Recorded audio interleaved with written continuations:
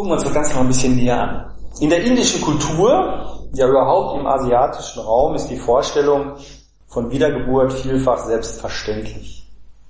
In unserer europäischen, von Christentum und insbesondere von der Aufklärung geprägten Kultur gehört Wieder, Wiedergeburt eher so in den Bereich der Esoterik. Man begegnet dem Thema mit Skepsis oder vielleicht sogar mit Ablehnung. Seit den 60er Jahren gibt es Umfragen zu der Verbreitung des Glaubens an Reinkarnation in den USA, aber auch in verschiedenen europäischen Staaten. Und die Zustimmung schwankt so zwischen 10 und 30 Prozent. In Brasilien hat man Werte von 45 Prozent gefunden, also 45 Prozent Zustimmung. Für Asien habe ich interessanterweise keine Werte gefunden. Wahrscheinlich hat man da noch nie Umfragen gemacht. Und wenn man sich dem Thema nähert, dann stellt man fest, dass es in vielen Völkern und Kulturen eine Rolle gespielt hat oder immer noch spielt. Man findet den Glauben an Reinkarnation in Afrika, in Südamerika, in Nordamerika, vor allem unter den Stämmen der ursprünglichen Bevölkerung. Man findet ihn in Zentralasien, in Japan, bei verschiedenen Inselvölkern.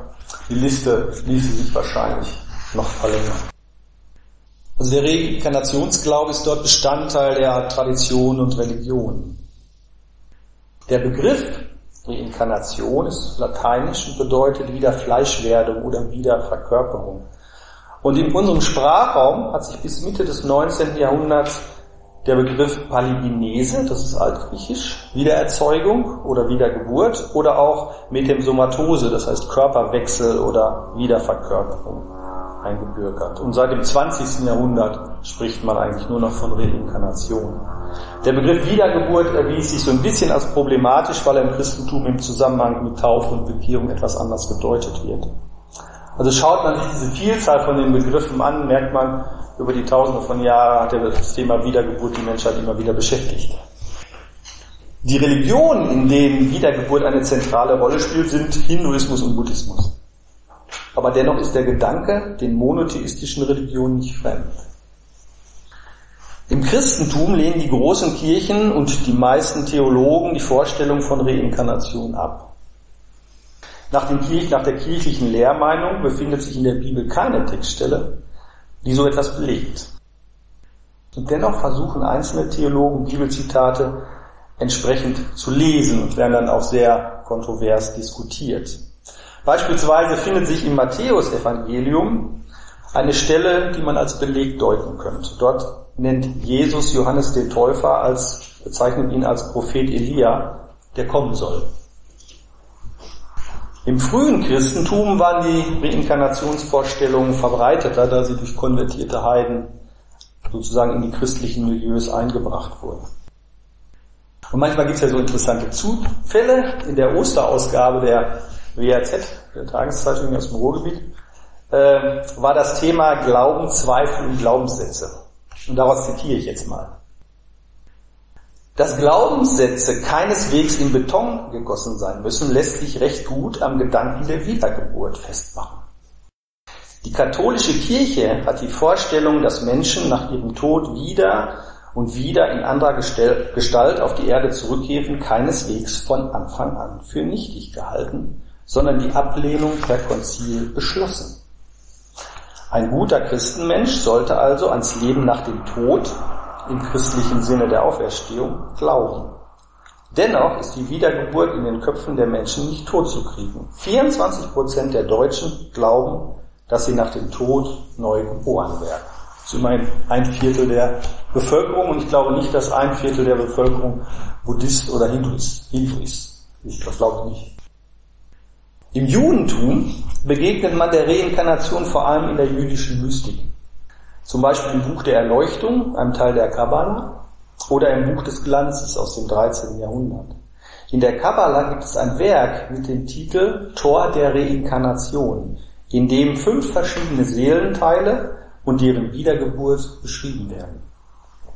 Die Hauptglaubensrichtung im Islam also die Schiiten und die Sunniten, teilen in Bezug auf Wiedergeburt die Auffassung der christlichen Kirchen und lehnen die Vorstellung ab. Sie lässt sich nicht mit der Auferstehung am Tage des jüngsten Gerichts vereinbaren. Aber auch im Islam gab und gibt es Sekten und Mystiker, bei denen Reinkarnation zum Weltbild gehört. Hier sind die Sufis sicherlich an erster Stelle zu nennen. Und ich habe ein Gedicht von Rumi gefunden, einem äh, persischen Dichter und Sufi-Meister aus dem 13. Jahrhundert, das ist, was das deutlich macht. Ich starb als Mineral und wurde Pflanze. Ich starb als Pflanze und wurde Tier. Ich starb als Tier und wurde Mensch. Warum soll ich mich fürchten? Wann wurde ich weniger durch einen Tod? Noch einmal werde ich sterben als ein Mensch, nur um dann aufzusteigen mit der Engel Segen. Doch auch vom Engelsdasein muss ich weitergehen. Soweit. Wenn wir uns unsere Geschichte angucken, unsere europäische Geschichte, fangen wir mal bei der klassischen Antike an, da gilt Pythagoras als äh, der Ahnherr des Glaubens an die Seelenwanderung. Die meisten werden Pythagoras sicherlich eher mit Mathematik in Verbindung bringen, denke ich mal. Platon, weiterer griechischer Philosoph, hat auch an Seelenwanderung geglaubt. Und die platonische Vorstellung von Wiedergeburt hat etwas gemeinsam ähm, mit der Idee, wie wir sie in der hinduistischen Religion finden. Also eine unsterbliche Seele existiert schon vor der Geburt, ist göttlichen Ursprungs und muss wegen ethisch schlechter Taten durch viele Wiederverkörperungen gereinigt werden, um dann den göttlichen Status wieder zu erreichen. Der Reinkarnationsgedanke fand später Eingang in die römische Kultur. In Europa findet man Hinweise auf Wiedergeburt bei den Kelten. Im Mittelalter gab es die Vorstellung von Seelenwanderung im 12. Jahrhundert vor allen Dingen in Südfrankreich. Und im 13. und 14. Jahrhundert war das Thema unter den christlichen Katharer weit verbreitet. Ähm, die sind deswegen auch verfolgt worden. Und der Gedanke wurde dann in der Renaissance wieder aufgegriffen. Im 18. Jahrhundert finden wir in der Literatur, bei Lessing zum Beispiel. Und Lessing hat großen Einfluss gehabt auf die ähm, spirituellen Bewegungen des 19. Jahrhunderts. Also den Spiritismus nach Ellen Kardec, die Theosophie ja, nach Helena Blavatsky und die, auch die Anthroposophie, Rudolf Steiner. Und Johann Georg Schlosser war ein Freund Goethes, der hat eine Schrift veröffentlicht mit dem Titel Über die Seelenwanderung. Und Schopenhauer, der stand ja bekanntlich dem Buddhismus nahe, äh, hat sozusagen die Reinkarnation auch in äh, die Philosophie wieder etwas stärker präsent gemacht. Und das hatte interessanterweise Einfluss auf jemanden, äh, den wir eher mit Kindergeschichten in Verbindung bringen. Wilhelm Busch. Ich wusste das gar nicht, äh, dass er so mit der Philosophie, so mit der Philosophie auseinandergesetzt hat. Ich kenne ihn vom Struwelpeter oder so. Da kenne ich den her immer. Ich lese mal was von ihm vor. Also hat es dir gefallen hier in dieser schönen Welt, so dass das von Dannenwallen dir nicht sonderlich gefällt. Lass dich das doch nicht verdrießen, wenn du wirklich willst und meinst, wirst du wieder aufersprießen, nur nicht ganz genau wie einst.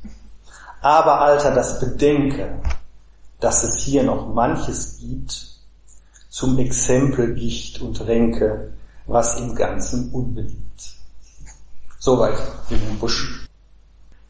Also immer wieder haben sich Menschen aller philosophischen Richtungen mit dem Thema Tod und was danach geschieht gewidmet und auseinandergesetzt. Einige hielten Wiedergeburt für möglich, andere lehnten das ab. Und im 20. Jahrhundert war das Thema Reinkarnation mit der empirischen Reinkarnationsforschung endgültig in der Wissenschaft angekommen. Der renommierteste Vertreter auf diesem Forschungsgebiet war der Parapsychologe Ian Stevenson. Der hat gelebt von 1918 bis 2007. Und bei seinen Forschungsarbeiten hat sich Stevenson mit Kindern befasst, die sich spontan an frühe Leben, frühere Leben erinnern. Diese Kinder zeigten auch oft Verhaltensweisen, die irgendwie nicht zu der Familie passten, in die sie hineingeboren Stevenson hat über 1000 Fälle aus allen Teilen der Erde untersucht. Er selbst sprach allerdings nicht von Beweisen für Reinkarnation, sondern immer nur von Indizien, die seine Hypothese stützten. Und die Lektüre seines Buches Wiedergeburt Fand ich sehr spannend. Die Haltung zu seinen eigenen Forschungsarbeiten war bemerkenswert offen und kritisch. Er hat stets versucht, wissenschaftliche, das heißt objektive Kriterien anzuwenden. Soweit das natürlich möglich war, denn er war immer auf Schilderungen angewiesen, auf die Schilderungen von, von den Kindern oder auf die Schilderungen aus dem Umfeld. Und das setzt natürlich der Objektivität auch Grenzen. Aber er hat auch versucht, eine Systematik in diesen Fällen zu erkennen. Und zwei Feststellungen finde ich sehr bemerkenswert und möchte sie kurz erläutern.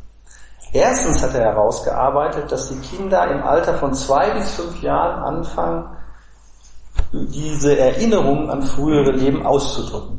Entweder durch Bilder oder auch durch Erzählungen. Im Alter von fünf bis acht Jahren sprechen die Kinder nicht mehr darüber. Die Erinnerung verblasst mehr und mehr und ist dann fast verschwunden. So nach dem ersten Lebensjahrzehnt sind eigentlich keine Erinnerungen mehr vorhanden. Und die zweite Feststellung, die er gemacht hat, war, dass die Menschen, die über vorangegangene Leben berichten, dort im vorangegangenen Leben oft eines gewaltsamen Todes gestorben sind. Sind mitten aus dem Leben gerissen worden. Entweder sind sie Opfer eines Unfalls oder Opfer eines Verbrechens geworden. Und sie waren oft nicht besonders alt. Stevenson sagt nichts in seinem Buch, ob er Wiedergeburt für etwas Normales hält oder nicht. Oder ob es eine Ausnahme ist. Ich nehme das schon mal vorweg, für mich als Buddhist ist äh, die Wiedergeburt der Normalfall. Und beide Feststellungen, die ich gerade genannt habe aus Stevensons Forschung, sind für mich auch eine Erklärung dafür, ähm, warum wir uns an unsere früheren Leben nicht erinnern. Erstens sterben die meisten Menschen wahrscheinlich nicht gewaltsam. Das ist immer noch eine Ausnahme. Und äh, zweitens denke ich, werden wir in unserem jetzigen Leben mit so vielen Eindrücken bombardiert, dass einfach kein Raum mehr ist für die Erinnerung an frühere Leben. Und wenn wir ehrlich sind, wir behalten ja noch nicht einmal die Erfahrung aus diesem Leben in verfügbarer Erinnerung. Oder er weiß, wer weiß schon genau, was er im Alter von zwei Jahren gemacht hat.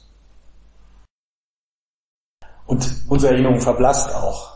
Ja, und ist nur sehr vage und äh, jetzt von mir aus manchmal auch nicht sehr präzise. Die Erinnerung. Aber es kann durchaus sein, dass Erinnerungen aus früheren Leben in unseren Träumen auftauchen. Der eine oder andere in Ihrem Raum hat vielleicht immer wiederkehrende Träume, in denen er sich in einer anderen Zeit begegnet. In einer anderen Zeit unterwegs ist, Erlebnisse hat, die mit dem jetzigen Leben in keiner Verbindung stehen. Man kann sich das gar nicht erklären. Es gibt noch weitere Indizien. Stevenson überschreibt ein Kapitel mit dem Thema die Reinkarnationsidee als Erklärung verschiedener Phänomene. Also was könnte, welche Phänomene könnten durch Wiedergeburt erklärt werden? Ein paar führt er auf. Das eine sind Phobien im Kindesalter. Also die Kinder haben Angst, die nicht zu erklären ist, zum Beispiel vor Wasser. Ja, ein zweijähriges Kind Angst vor Wasser hat. Es könnte damit zusammenhängen, dass dieser Mensch vielleicht im früheren Leben ertrunken ist. Zum Beispiel. Solche Fälle hat er gehabt. Oder irrationale Aggression bei Kindern äh, vor bestimmten Menschen. Kann ich mir ganz gut vorstellen, ein Kind begegnet dem Menschen, der im vorherigen Leben dem Menschen was angetan hat. Man begegnet sozusagen dem eigenen Mörder oder sowas. Kann ich mir ganz gut, gut vorstellen. Ungewöhnliche Interessen von Kindern an Musik, an bestimmten Musikinstrumenten in Familien, die eigentlich mit Musik nichts zu tun haben. Kinder möchten ein bestimmtes Instrument lernen. Oder ungewöhnliche Begabungen, Stichwort Wunderkinder. Oder auch Süchte. Er hat manche Kinder beobachtet, die verlangten nach Rauschmitteln, Tabak oder Alkohol. Äh, und das war nicht zu erklären aufgrund der familiären Verhältnisse. Die haben statt dem Apfelsaft lieber den Whisky haben wollen, weil das haben die immer gemacht im vorherigen Leben. Oder auch deutliche charakterliche Unterschiede zwischen allen eigenen Zwillingen, die man so auch nicht erklären kann. Und äh, das letzte, Transsexualität, also Wechsel der Geschlechtsidentität. Also Kinder bevorzugen zum Beispiel die Kleidung des anderen Geschlechts Mädchen kleiden sich wie Jungen und umgekehrt. Viele verlieren diese Tendenz wieder und nehmen ihr derzeitiges Geschlecht dann irgendwann auch mal an.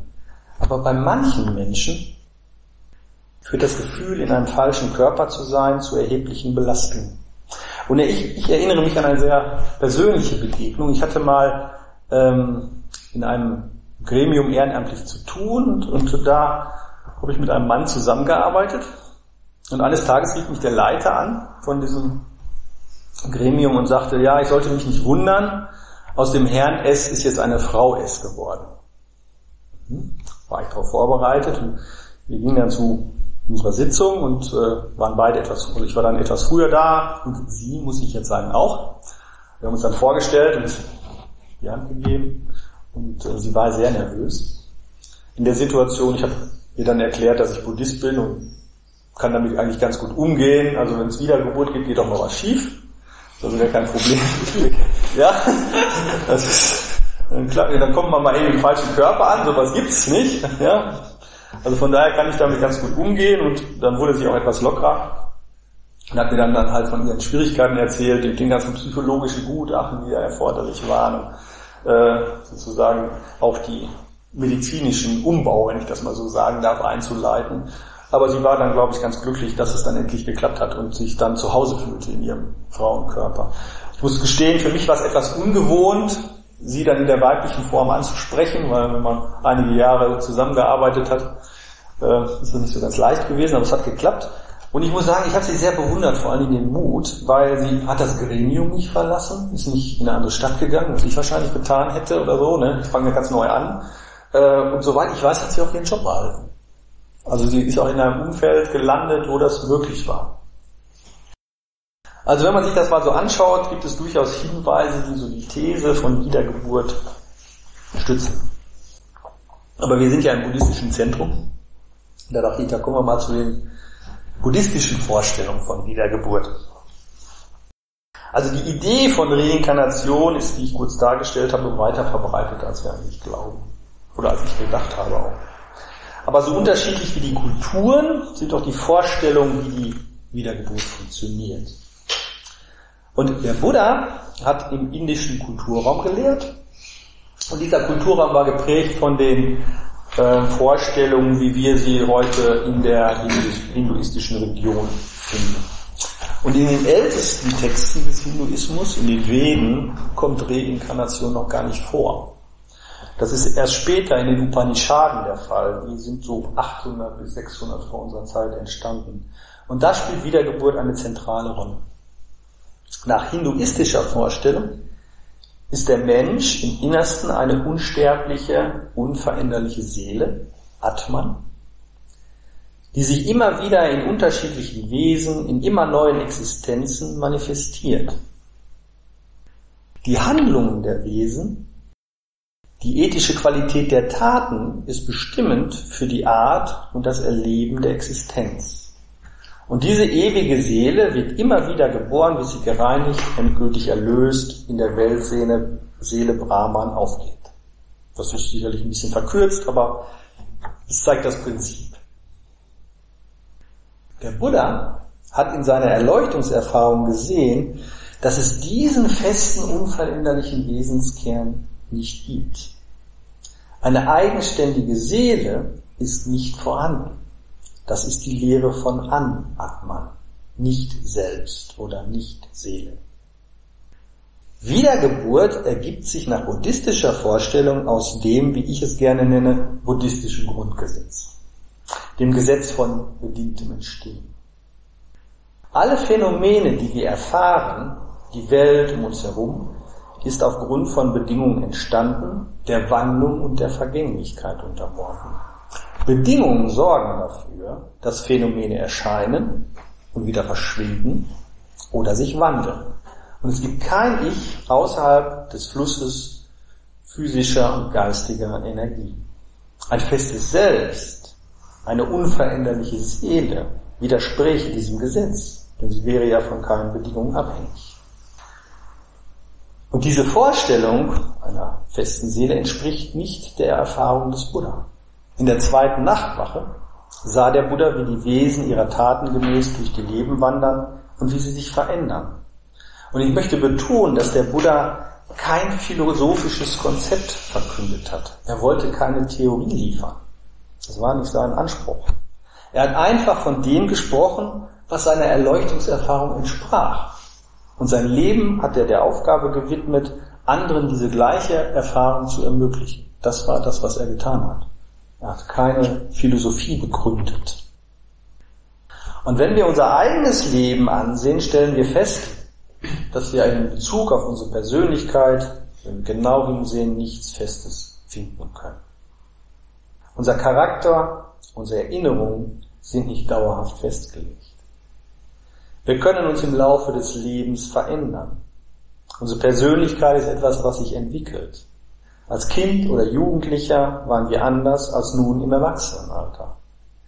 Ereignisse im Leben können uns auf radikale Weise beeinflussen. Wir sagen manchmal über jemanden, er ist jetzt nicht mehr derselbe. Wandel ist im Laufe des Lebens schon spürbar. Aber dennoch bleibt eine spannende Frage über. Was wird denn wiedergeboren, wenn es keinen festen, unveränderlichen Wesenskern gibt? Wenn es keine Seele gibt? Die Frage ist nicht neu. Die wurde auch schon zu Buddhas Zeiten gestellt. Und der Buddha selbst ist damit relativ gelassen umgegangen. Er war der Auffassung, dass eine Antwort darauf nicht hilfreich für die Befreiung aus dem Leiden ist.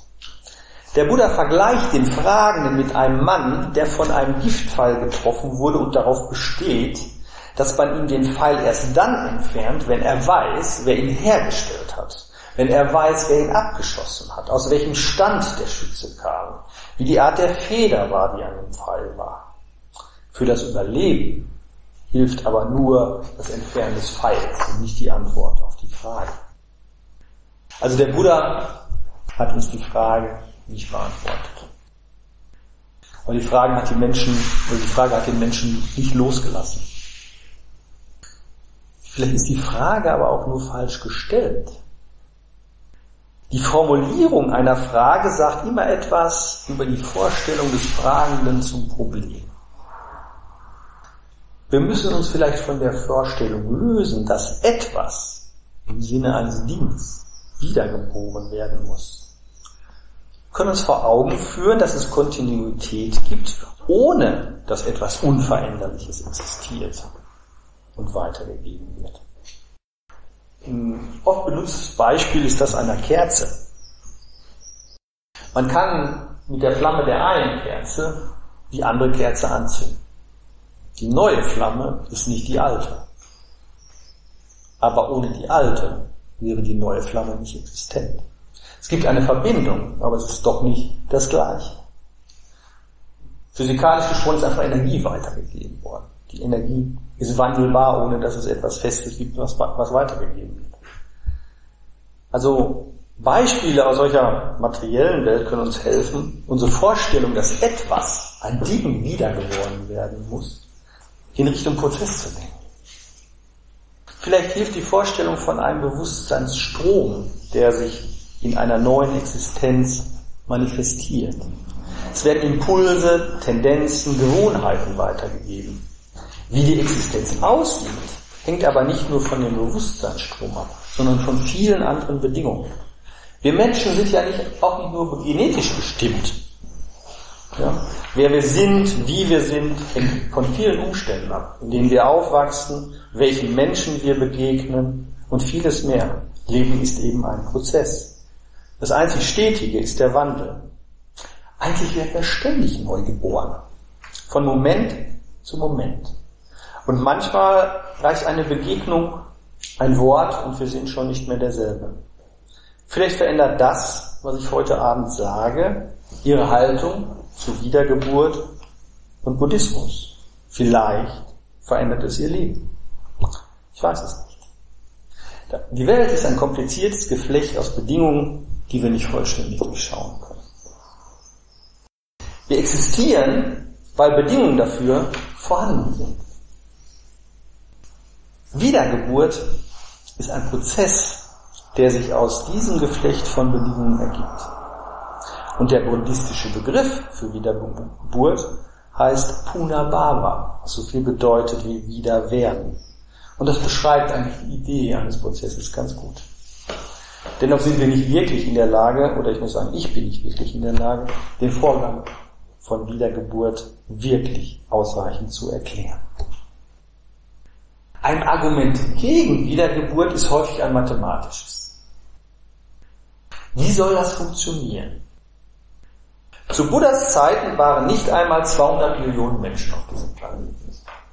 Um 1900 waren es 1,6 Milliarden. Und mittlerweile sind wir bei 7,2 Milliarden Menschen angekommen, die die Erde bevölkern. Wie kann das gehen? Wie funktioniert das? Das Argument setzt voraus, dass Existenz nur hier auf der Erde und nur für Menschen als Mensch möglich ist. Die buddhistische Vorstellung von Existenz geht aber weit darüber hinaus. Der Mensch, die Welt der Menschen ist nur eine von sechs Welten, die alle in den Kreislauf der Existenzen einbezogen werden. Der Buddha spricht im Padikara von unterschiedlichen Welten. Wir finden Dialoge zwischen ihm und göttlichen Wesen. Er spricht vom Höllenbereich. In einer Verehrungsformel des Buddha heißt es, der Buddha ist Lehrer von Göttern und Menschen. Vielleicht kennt der ein oder andere die Darstellung des tibetischen Lebensrades. Da ist der Kreislauf von Geburt, Tod und Wiedergeburt sehr plakativ zu ersehen. An der Radnabe, also in der Mitte, findet man die Ursachen für den endlosen Kreislauf. Gier, Hass und Verblendung, dargestellt in der Form von Haaren, Schwein und Schlange. Am äußeren Rand ist die Kette des bedingten Entstehens. Die Nidanas. Die erklären so den Mechanismus, die uns an den Kreislauf binden. Und im mittleren Bereich des Lebensrades sind die sechs Welten dargestellt. Und die gucken wir uns jetzt mal ein bisschen näher an. Da gibt es die Welt der hungrigen Geister, die Höllenwelt, es gibt die Welt der Titanen, die Welt der Götter und die uns vielleicht etwas näher sind, die Tierwelt und die Menschenwelt. Und diese Welten repräsentieren Existenzbereiche der Wesen. Und im tibetischen Buddhismus gibt es dazu sehr farbenprächtige Darstellungen. Und die Welten lassen sich gut über Geistesverfassungen verstehen, die in jeder Welt vorherrschen und die das Verhalten der Wesen dort bestimmen.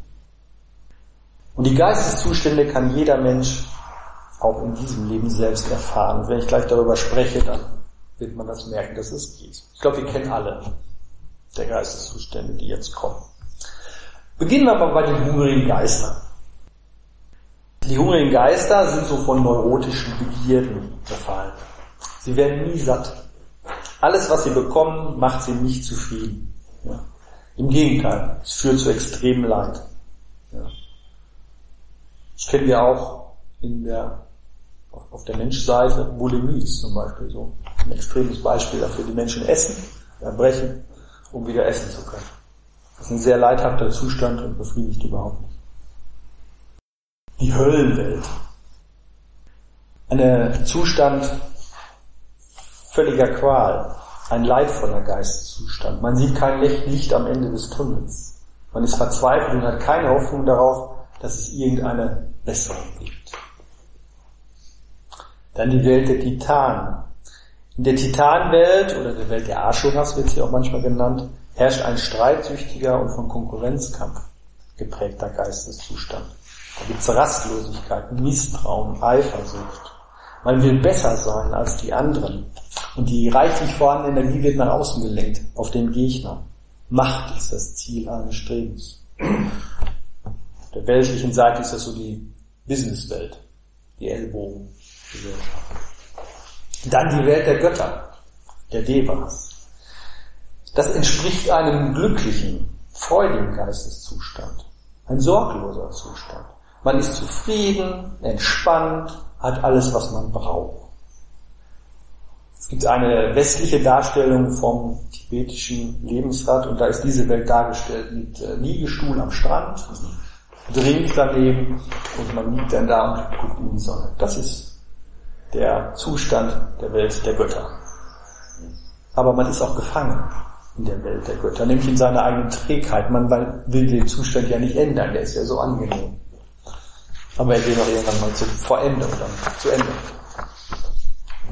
Dann die Tierwelt. In der Tierwelt zählt nur die Befriedigung der Grundbedürfnisse.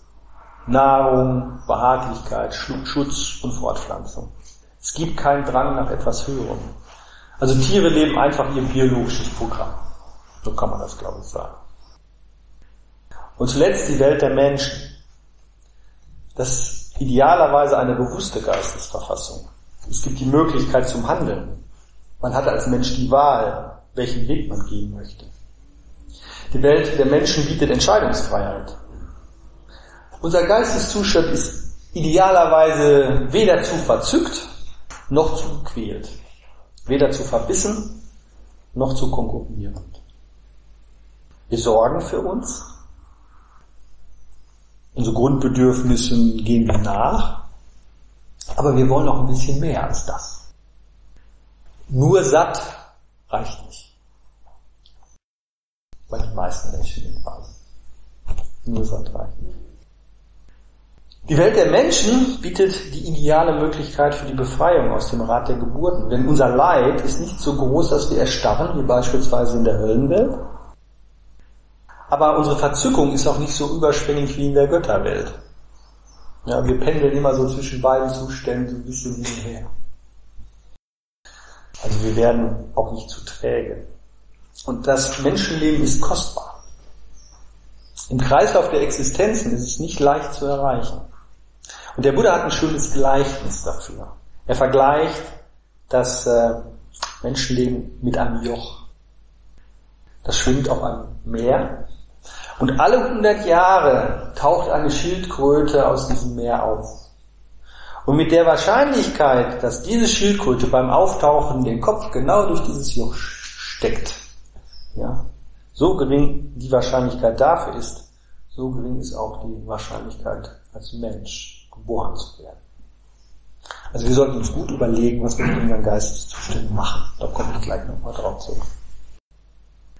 Also nehmen wir die Vorstellung verschiedener Existenzbereiche an, so spielt die Mathematik keine Rolle mehr.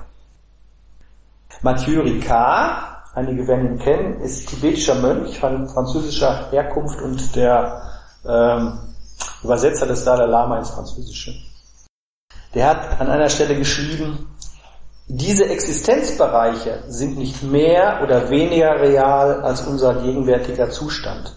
Man darf die Fähigkeit des Bewusstseins nicht unterschätzen, eine Welt zu erschaffen, die mit allem versehen ist, was wir Wirklichkeit nennen. Und interessanterweise hat Stevenson bei seinen Untersuchungen auch Hinweise auf sogenannte Zwischenbereiche gefunden. Also es war nicht immer so, dass ein Leben an das nächste anschloss. Manchmal waren die Erinnerungen auch in anderen Epochen und weiter zurück und da war irgendwie eine Lücke dazwischen. Das hat er dann Zwischenbereiche genannt. Bei der Beschäftigung mit Wiedergeburt kommt man an dem Thema Tod nicht vorbei. Bei dem Versuch, den Prozess der Wiedergeburt zu beschreiben, stößt man sehr schnell an Grenzen. Grobe Analogien müssen als Modell dienen. Aber wie sieht es beim Tod aus? Wissen wir, was der Tod ist? Was wissen wir darüber? Ich bin ein bisschen konservativ und gucke da im Lexikon nach. Und dort habe ich gefunden. Tod ist der Zustand eines Organismus, nach dem irreversiblen Ausfall aller Lebensfunktionen. Als Abschluss eines Alterungsprozesses, dem jedes Lebewesen von Geburt an unterworfen ist, ist der Tod genetisch programmiert und somit ein in der organischen Verfassung des Lebens begründetes Ereignis. Und weiter. Dem Tod voraus geht ein Sterbeprozess, der durch den Ausfall einer der drei miteinander verbundenen lebenswichtigen Funktionen von Atmung, Kreislauf und zentralen Nervensystem eingeleitet wird. Soweit das Lexikon. Also eine recht eindeutige Definition. Wir wissen, was der Tod ist. Aber wissen wir auch, was im Sterbeprozess wirklich passiert? Im Februar diesen Jahres war in der Zeitung das Tagesthema Organspende. Es ging um die Frage, wann der Mensch wirklich tot ist. Ausgangspunkt des Artikels waren unterschiedliche Positionen im Ethikrat der Bundesregierung darüber, ob Menschen bei der Organentnahme noch leben oder bereits tot sind. Konkret ist der Hirntod das Ende des Lebens. Abgedruckt war ein Interview mit dem Professor Dr. Eckhard Nagel, das ist der ärztliche Direktor des Uniklinikums hier in Hessen. Und der hat gesagt, wir Mediziner haben klare Kriterien, wann der Tod eintritt. Aus medizinischer Sicht gibt es an der Hirntoddefinition überhaupt keinen Zweifel. Hier liegen eindeutige, sichere Vorgaben zugrunde. Auf die Frage, warum es dann im Ethikrat unterschiedliche Ansichten gebe, hat Professor Nagel geantwortet. In der Stellungnahme des Ethikrates werden ganz unterschiedliche Dinge miteinander verglichen. Als Philosoph, Theologe oder auch als Jurist kann ich fragen, ob der Hirntod das Ende des Sterbeprozesses ist oder doch ein davorliegender Moment. Das sind sicher wichtige ethische, philosophische Überlegungen, die bis ins Spirituelle reichen. Doch für einen Arzt sind dies keine primär relevanten Kriterien. Hier geht es um die materielle Existenz des Menschen. Zitat Ende. Es geht mir heute nicht um das Thema Organspende. Diese Entscheidung muss jeder für sich treffen und wenn wir am Ende loslassen können, spielt der genaue Zeitpunkt des Todes diesbezüglich keine Rolle mehr und ich bezweifle auch, dass man diesen Zeitpunkt überhaupt bestimmen kann. Die Diskussion zeigt nur, wie wenig wir in unserer Kultur über den Sterbeprozess an sich wissen. Der Sterbeprozess und der Tod wird von Medizinern nach materiellen Kriterien beurteilt. Bewusstsein kommt gar nicht vor woraus sich folgern lässt, dass Bewusstsein in diesem Schema gleichfalls als an die Materie gebunden angesehen wird. Persönlich bin es etwas befremdlich, wenn man hier zwischen medizinischen, ethischen, philosophischen und spirituellen Aspekten unterscheidet, weil es ist doch der gleiche Mensch. Das stimmt. Den kann ich doch nicht unterteilen. Aber die Sichtweise der Mediziner lässt sich vielleicht folgendermaßen erklären. In unserer von der Wissenschaft geprägten Kultur brauchen wir objektive Kriterien. Also Kriterien, die von außen sichtbar sind. Und von diesen Kriterien spricht Professor Nagel. Denn nur von außen messbare Kriterien gestatten es dem Arzt, dies zu dokumentieren und juristisch auf der sicheren Seite zu sein. Der Hirntod ist eine Definition, eine Definition, auf die man sich gesellschaftlich in Form von Gesetzen geeinigt hat. Das wurde nötig, als man die ersten Organe verpflanzt hat. Das war Ende der 60er Jahre der Fall. Und an der Definition hat sich bis heute nichts geändert. Und der Arzt hat bei Einhaltung aller Kriterien keine Sanktionen zu befürchten. Der Hirntod bedeutet dabei nicht den biologischen Tod, den biologischen Tod des Körpers. Weil die Organe müssen ja bis zur Entnahme am Leben gehalten werden. Was bei dieser Definition außen vor bleibt, sind die inneren Prozesse des Sterbenden das, was im Bewusstsein des Sterbenden passiert. Das abendländische Denken hat seit Jahrhunderten sich seit Jahrhunderten auf die Erforschung der materiellen Welt durch die Naturwissenschaft konzentriert. Und das hat zu einer weitgehend materialistischen Weltanschauung geführt, in der das Bewusstsein nur an ein die Materie gebundenes Phänomen ist. Wir trennen ja sogar in der Wissenschaft Geisteswissenschaft und Naturwissenschaften. Das machen wir schon da an der Stelle. In der östlichen Kultur wurde der Schwerpunkt auf die, die Erforschung der geistigen Welt gelegt. Daher ist die Herangehensweise an Sterben und Tod in einer buddhistischen geprägten Kultur ganz anders. Buddhisten erkennen natürlich auch den biologischen Tod, den Verfall des Körpers an. Auch der Buddha ist biologisch gestorben. Anders sieht es aus buddhistischer Perspektive mit dem Sterbeprozess aus. Dabei spielt der Ausfall einzelner biologischer Funktionen keine Rolle. Weil die alten Tibeter haben keine Hirnschulter gemessen. Konnten die nicht. Aus buddhistischer Perspektive sind also die geistigen Prozesse der im Sterben entscheidender. Und das gucken wir uns jetzt ein bisschen genauer an. Die Frage der Wiedergeburt stand in den unterschiedlich buddhistisch, unterschiedlichen buddhistischen Schulen nie zur Disposition. Die Art, wie der, sich der Übergang von einem zum anderen Leben vollzieht, schon. Während die Theravada-Buddhisten, also das sind die Buddhisten der älteren Schule, davon ausgehen, dass der Übergang unmittelbar erfolgt, kennt der tibetische Buddhismus einen Zwischenzustand. Einige Stellen in diesen alten Schriften scheinen die Idee eines Zwischenzustandes zu unterstützen. Ich habe gesucht, aber ich habe sie nicht gefunden. Also ich kann das nur indirekt wiedergeben, weil ich es gelesen habe. Äh, und ich konzentriere mich heute auf die tibetische Sicht. Auch aus persönlicher Überzeugung, weil ich glaube, dass das, was da beschrieben wird, aus Beobachtung und Erfahrung aufgeschrieben wurde. Der Sterbeprozess und die Zeit bis zu einer neuen Geburt wird im tibetischen Buddhismus Bado, Zwischenzustand, genannt. Und bekannt ist sicher das tibetische Totenbuch, Bardo Tödo. Es wurde im 14. Jahrhundert von dem Mönch Karma Lingpa gefunden. Und es besteht aus einer Serie von Texten, die die Befreiung des Verstorbenen aus dem Kreislauf der Wiedergeburt anstreben einschließlich der zugehörigen Vorbereitung. Der genaue Titel des Buches lautet Das Buch von der natürlichen Befreiung durch Hören im Zwischenzustand. Das ist der elfte Text in der Serie, der dazu bestimmt ist, einem Verstorbenen von einem Lama während des maximal 49 Tage dauernden Zwischenzustandes vorgelesen zu werden und ihn so durch den Bade zu leiten. Der Verstorbene soll die Möglichkeit erhalten, Nirvana zu erreichen, einen Zustand, der frei von Hias und Verblendung ist, sowie frei von dem Drang nach einer neuen Existenz. Und wenn das nicht gelingt, wird er weiter durch dieses Vorlesen unterwiesen. Es wird erklärt, was das Bewusstsein im Zwischenzustand erfährt, um dadurch eine gute Wiedergeburt zu ermöglichen. Was hört zu, wenn es keine Seele gibt.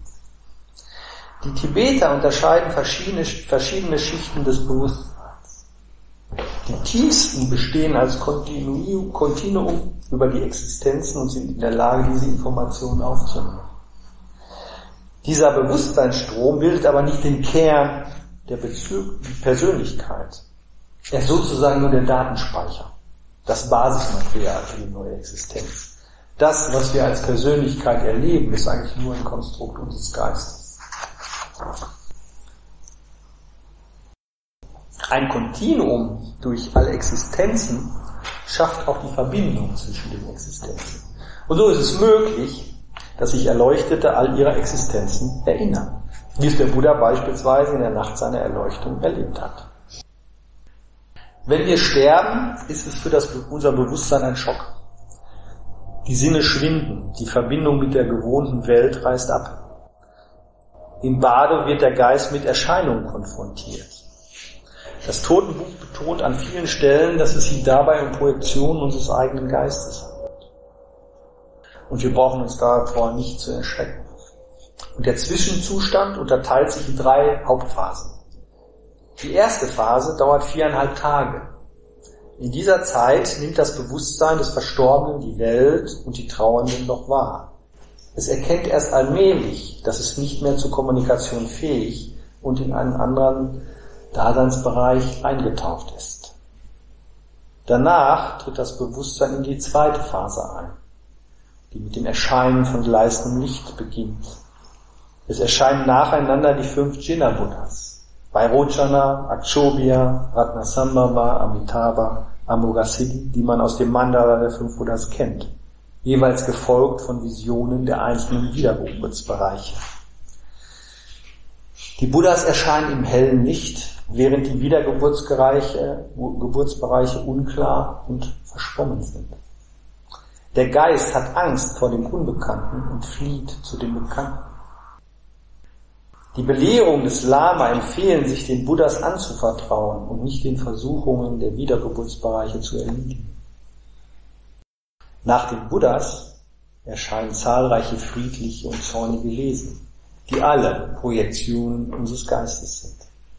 Fruchten die Belehrung nicht in diesem Zustand, folgt die letzte Phase des Badu des Werdens. Das Bewusstsein ist irritiert, es sucht Halt bei etwas Bekanntem. Die karmischen Prägungen und die Gewohnheiten treiben es einer neuen Existenz entgegen. Der Lama ermahnt den Verstorbenen nur heilsame Gedanken zu hegen, denn der Zwischenzustand wird karmisch. Die Gedanken und die Geistesverfassung haben einen Einfluss darauf, in welchem der sechs Daseinsbereiche wie Wiedergeburt, wiedergeboren werden. Und zur Vorbereitung schildert der Lama, welche Farben aus diesen Bereichen kommen. Weißes Licht aus der Götterwelt, rotes Licht aus dem Bereich der Titanen, blaues aus dem Bereich der Menschenwelt, grünes Licht aus dem Bereich der Tiere und gelbes aus dem Bereich der hungrigen Geistes, der Geister und rauchig trübes aus der Hölle. Ja. Die Belehrungen haben jetzt nur noch ein Ziel, nämlich das Bewusstsein des Verstorbenen zu sammeln, es an die Lehren der Buddhas zu erinnern und damit eine positive Geisteshaltung zu erzeugen. Und angestrebt wird die Wiedergeburt in der Menschenwelt, weil man sich hier weiterentwickeln kann und schließlich auch Erleuchtung erlangen kann. Die Beschreibungen im tibetischen Totenbuch sind viel detaillierter, als ich das hier darstellen kann. Aber es wird immer wieder betont, dass all das, was erlebt wird, Projektionen unseres eigenen Geistes sind. Menschen, die nie etwas von Buddhas gehört haben, werden in dem Zustand auch keine Buddhas sehen. Das Buch verdeutlicht uns aber, wie wichtig unsere eigene Geisteshaltung ist. Der Einfluss ist so groß, dass er über Existenzen fortdauert. Negative Geisteshalten wirken sich negativ aus, sie verstärken das Leiden. Positive wirken das Gegenteil. Das bringt uns in die Richtung Gesetz von Karma und da komme ich nachher nochmal drauf zurück. Wenn man sich das anguckt, diese Gegenüberstellung der westlichen und der tibetisch-buddhistischen Sichtweisen auf den Sterbeprozess, zeigt dies, dass die jeweilige Herangehensweise, die Prämissen einer Fragestellung, Einfluss auf die Antworten haben, die wir finden. Habe ich ein materialistisches Menschenbild, komme ich zu zuvor genannten westlichen Interpretationen. Ist das Bild ein spirituell geprägtes, suche ich Antworten im geistigen Bereich. Auch hier gilt das Gesetz vom bedingten Entstehen.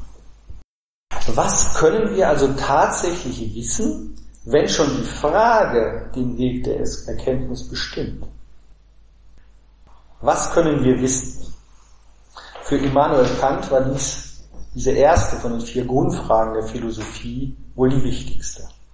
Hier hat er sein Werk Kritik der reinen Vernunft gewidmet. Für viele hängt der Glaube an die Wiedergeburt davon ab, ob es gesicherte Erkenntnisse, das heißt Beweise gibt. Nun hat die Philosophie herausgearbeitet, dass der Erkenntnis Grenzen gesetzt sind. Natürliche Grenzen. Wir sind mit fünf Sinnen ausgestattet und mit diesen fünf Sinnen erfahren wir die Welt. Hinzu kommt unser Geist als sechster Sinn. Die Eindrücke werden verarbeitet und so entsteht das Bild unserer Welt. Alles, was diesen Sinnen nicht zugänglich ist, existiert nicht in unserem Weltbild. Im Laufe der Geschichte hat der Mensch seine Sinne mit Hilfe der Technik erweitern können. Wir hören und sehen heute in Frequenzbereichen und Entfernungen, die weit über das menschliche Vermögen hinausgehen. Aber alles, was unsere natürlichen Sinnen verschlossen bleibt, erfahren wir nur indirekt. Wir versuchen durch Modelle und logische Schlüsse Zusammenhänge herzustellen und damit unser Verständnis von der Welt zu vertiefen. Dem sind aber Grenzen gesetzt. Das Problem gerade für Menschen in naturwissenschaftlich dominierten Kulturen ist, dass oftmals Phänomene, die sich diesen Methoden entziehen, als nicht existent, weil als unbewiesen angesehen werden. Und so ergeht es auch dem Phänomen Wiedergeburt. Aber was bedeutet das? Wenn wir nur das für wahr halten, was unseren auch gegebenenfalls erweiterten Sinnen zugänglich ist und was wir durch unseren Intellekt verstehen können, begrenzen wir die Welt und uns selbst. Der Mensch macht sich dann selbst und sein Erkenntnisvermögen zum Maßstab aller Dinge. Er erhebt sich damit über die Welt und macht die Welt gleichzeitig klein und eng. Weit und offen wird die Welt, wenn wir zulassen, dass es Dinge gibt, die wir nicht verstehen und diese Phänomene trotzdem für möglich halten. Schon Kant hat gesagt, dass wir die Welt immer nur so erfahren, wie sie uns erscheint, nie wie sie an sich ist. Wir sehen sie quasi durch einen angeborenen Filter, unsere Sinne und unser Erkenntnisvermögen, den wir nicht abnehmen können. So manchen stürzte diese Erkenntnis in eine Krise. Etwa Heinrich von Kleist, der nach Kants Lektüre sein Physikstudium abbrach und Dichter wurde. Unglückliches Bewusstsein nannte Hegel diesen Zustand des forschenden Geistes, der sich plötzlich seiner Grenzen bewusst wird. Unser Denken selbst ist begrenzt, denn es wird geprägt von unseren Erfahrungen. Unsere Fähigkeit, Erfahrungen in Worte zu fassen, ist limitiert, denn wir haben nur eine begrenzte Auswahl zur Verfügung. Schon bei der relativ einfachen Erfahrung des Hörens eines Musikstücks klingen die Worte, mit denen wir das Gehörte beschreiben möchten, oft grob und unbeholfen und geben nie das Erlebte wieder. Und auf dem buddhistischen Weg versuchen wir eben diese Grenzen zu sprengen. Die Grenzen, die uns Sinn und Verstand setzen. Lama Anagarika Govinda, das war ein äh, buddhistischer Gelehrter Deutscher Herkunft, der hat gelebt von 1898 bis 1985, hat ein Buch geschrieben mit dem Titel Buddhistische Reflexion und daraus zitiere ich etwas. Kant zeigt theoretisch, wo innerhalb des gegebenen Bewusstseins die Grenzen der Erkenntnis liegen. Buddha lehrt die Praxis den Weg, wie jenes gegebene Bewusstsein überschritten werden kann. Nicht logisches Denken, sondern ein höheres Bewusstsein löst die Widersprüche, in die das niedere, an die Sinnlichkeit gebundene Denken sich hoffnungslos verstrickt. Ein anderer Autor, ein britischer, Marco Pallis, der war Bergsteiger, hat viel in Tibet gelebt, hat viel über Tibet veröffentlicht, ausgebracht, Leit, buddhistische Leitgedanken heißt das. Und da habe ich auch ein interessantes Zitat gefunden. In Bezug auf die Wahrheit sind Ansprüche menschlicher Originalität fehl am Platz. Vielmehr empfiehlt es sich nicht zu vergessen, dass die Verwirklichung der Wahrheit unter allen Umständen mehr erfordert als bloße Gedankentätigkeit. Heilige und Weise haben immer darauf hingewiesen, dass solche Verwirklichung die Gleichstellung von Sein und Wissen bedeutet. Man darf niemals glauben, dass die Denkfähigkeit das gesamte Erkenntnisvermögen des Menschen ausmacht, auch wenn sie im Bereich des bedingend nutzbringend ist. Wahres Erkenntnisvermögen denkt nicht, es sieht. Erkenntnis, so glauben wir, gibt uns Sicherheit. Erkenntnis ist etwas, auf das wir uns verlassen können. Die Naturwissenschaften erzeugen den Eindruck, Tatsachenbeweise zu liefern. Dabei sind es in vielen Fällen Interpretationen von Daten und Versuchsergebnissen. Und die Geschichte hat gezeigt, dass viele dieser Interpretationen wieder revidiert werden müssen.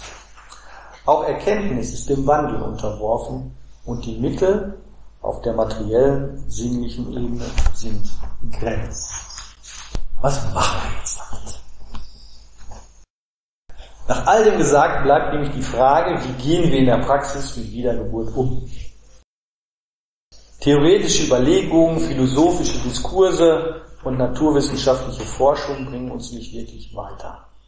Wenn wir darauf warten, endlich den absoluten Beweis in den Händen zu halten, ist unsere Lebenszeit wahrscheinlich zuvor abgelaufen. Wir können uns dem Thema mal von einer ganz praktischen Seite nähern.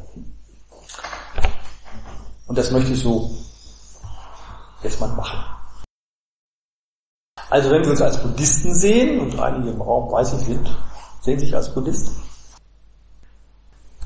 dann nehmen wir bestimmte Eigenschaften der Welt an. Dazu zählen die drei Merkmale der Existenz.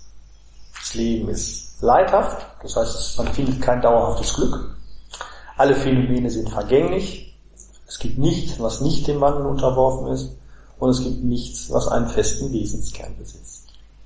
Buddhisten streben nach Erleuchtung, einem Zustand, der Nirvana genannt wird und der absoluter Frieden bedeutet. Und Grundlage für den buddhistischen Weg ist das Gesetz von Karma, das aussagt, dass alle Taten Folgen haben. Durch unser Handeln bestimmen wir mit, wie wir die Welt erfahren. Und daraus ergibt sich die Bedeutung von Ethik im Leben. Wie ernsthaft wir praktizieren, zeigt sich in unserer Ethik und in der Verantwortung, die wir für unser Handeln übernehmen. Das Gesetz von Karma in Verbindung mit Wiedergeburt bedeutet, dass wir mit unseren Handlungen Verantwortung für dieses Leben und zu einem gewissen Grad auch für die Existenz haben, die der unseren folgt. Wir wissen nicht, wie eine neue Existenz aussieht, wie sich unser Karma auswirkt. Die Folgen unserer Handlungen können nämlich auch erst im nächsten Leben eintreten. Wenn wir uns dies klar machen und wenn wir die Möglichkeit der Wiedergeburt akzeptieren, dann kann das einen sehr positiven Effekt auf unser ethisches Leben haben. Unsere Handlungen reichen weiter, als wir meinen. Lehnen wir Wiedergeburt ab, hören wir nach meiner persönlichen Auffassung im Grunde auf, Buddhist zu sein. Wir haben dann auch kein Vertrauen mehr in den Buddha und seine Erleuchtungserfahrung, wie sie in den Schriften geschildert werden. Eine kritische Herangehensweise an buddhistische Texte ist immer notwendig und angemessen. Aber nur dann, wenn wir gleichzeitig zulassen, dass wir noch nicht alles verstehen können. Also unser Verständnis ist nicht der Maßstab, unsere Erfahrung schon. Ohne Vertrauen wird der Buddha auf einen Philosophen, Achtsamkeitstrainer oder Sozialreformer wie ihn einige Forscher nennen, reduziert. Wenn wir Wiedergeburt anzweifeln, halten wir auch im Grunde Erleuchtung nicht für möglich. Denn warum sollen wir an Erleuchtung glauben, die uns genauso abstrakt erscheint wie Wiedergeburt? Was dann übrig bleibt, ist ein weltlicher Buddhismus. Im weltlichen Buddhismus üben wir uns in Achtsamkeit, in Mitgefühl, in liebevoller Güte. Buddhistische Praxisen, Praktiken halten Einzug in Therapien, Management-Trainings. Wir bemühen uns zum Wohle anderer und der Welt zu handeln, engagieren uns ethisch in allen Lebensbereichen, im Umweltschutz, im Geldanlagen, im Kaufverhalten. All dies ist gut, wichtig. Es hat einen positiven Einfluss auf die Welt und auf das Miteinander, aber es greift zu kurz. Das transzendente und eigentliche Ziel des spirituellen Weges spielt dann keine Rolle mehr. Aber Ziel des buddhistischen Weges ist es nicht, Samsara, also diese Welt gemütlicher zu gestalten. Es geht um mehr. Und für mich persönlich liegt die Attraktivität des buddhistischen Weges gerade darin, dass es eine transzendente Perspektive gibt. Es gibt mehr zu erfahren als das, was mir im Moment möglich ist. Und die Welt ist größer als sie erscheint, wenn wir das Transzendente mit einbeziehen. Für mich hat im Leben Freiheit und Unabhängigkeit stets einen hohen Stellenwert gehabt. Ich habe gelernt, dass dies mit weltlichen Mitteln nicht zu erreichen ist. Dazu muss der Mensch über sich hinauswachsen und zu einem erleuchteten Wesen werden. Das ist es, um was es geht. Und für mich ergibt sich die volle Tragweite damischer Praxis nur unter der Berücksichtigung der Wiedergeburt. Blaise Pascal, ein französischer Mathematiker und Philosoph aus dem 17. Jahrhundert, hat folgende, wie ich finde, sehr praktische Abwägung getroffen. Wenn wir nach dem Tod nichts werden, gibt es niemanden mehr, der bedauern könnte, sich auf etwas vorbereitet zu haben. Wenn wir nach dem Tod etwas werden und uns gar nicht oder ungenügend vorbereitet haben, werden wir es für lange Zeit bitter und schmerzlich bereuen. Wenn wir uns also nicht vorbereiten, haben wir also alles zu verlieren und nichts zu gewinnen. Indem wir uns vorbereiten, haben wir alles zu gewinnen und nichts zu verlieren. Über den Tod wissen wir mit Sicherheit nur, dass er uns bevorsteht. Wir wurden in diese Welt geboren und müssen sterben. Das ist eine Tatsache. Wir wissen nicht, wann das sein wird und wie das sein wird. Die Zeit, die uns gegeben ist, müssen wir daher sinnvoll nutzen. Wenn man sich auf die buddhistische Vorstellung von Tod und Wiedergeburt einlässt, gibt es eigentlich nur eine Konsequenz, dass wir in unserem Leben eine positive Geisteshaltung entwickeln, nach ethischen Prinzipien leben, mit Liebe, Mitgefühl zu allen Wesen agieren und Gier und Hass entgegenwirken. Wir erkennen dann auch, dass unser Leben kostbar ist und wir die Zeit nutzen müssen, die uns gegeben ist. Dass wir nichts aufschieben. Keine Angelegenheiten, die wir mit anderen Menschen zu regeln haben. Wir können uns entschuldigen, wenn wir uns falsch verhalten haben. Wir können Verzeihung bitten. Wir können großzügig und hilfsbereit sein. Also wir sorgen sozusagen für ein reines Gewissen und wir lassen nichts unerledigt, damit wir unbelastet sterben können. Wir meditieren als Buddhisten, um einen achtsameren Geist zu entwickeln um zu erkennen, was im Augenblick geschieht.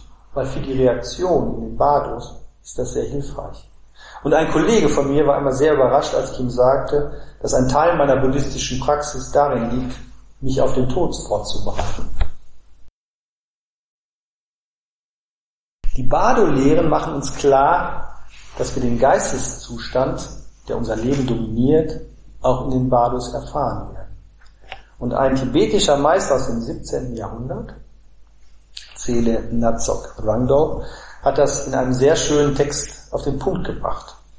Und den werde ich jetzt zum Abschluss dann nochmal zitieren. Und in dem Text kommt der tibetische Begriff Rigpa vor und Rigpa bedeutet so viel wie die Natur des Geistes. Das, das ursprünglich reine Gewahrsein. Erkenne die unendliche Vielfalt der Erscheinung als Traum, als nichts anderes als Projektionen deines Geistes, illusorisch und unwirklich, ohne nach etwas zu greifen, ruhe in der Weisheit deines Rigpa, das alle Konzepte überschreitet. Das ist der Kern der Praxis für den Bardo dieses Lebens. Bald wirst du sterben und nichts wird dir dann wirklich eine Hilfe sein. Was du im Tode erfährst, ist bloß dein eigenes begriffliches Denken. Ohne künstlich weitere Gedanken zu erzeugen, lass sie alle vergehen in die offene Weite des Selbstgewahrseins deines Nibbana. Das ist die, der Kern der Praxis für den Bado des Sterbens. Was immer nach den Erscheinungen oder Verschwinden greift, ist als gut und schlecht beurteilt, ist dein eigener Geist. Und dieser Geist selbst ist die Eigenstrahlung des Dharmakaya. So ist alles, was erscheint, nicht an dem zu hängen, was erscheint, es nicht zu Vorstellungen zu verdichten, es nicht anzunehmen oder abzulehnen. Das ist der Kern der Praxis für den Bado des klaren Lichts. Samsara ist dein Geist und auch Nirvana ist dein Geist. Alle Lust und aller Schmerz, wie alle Verblendungen auch, sind nirgendwo anders zu finden als in deinem Geist. Kontrolle über deinen Geist gewinnen, das ist der Kern der Praxis für den Bado des Werdens. Vielen Dank für die Aufmerksamkeit.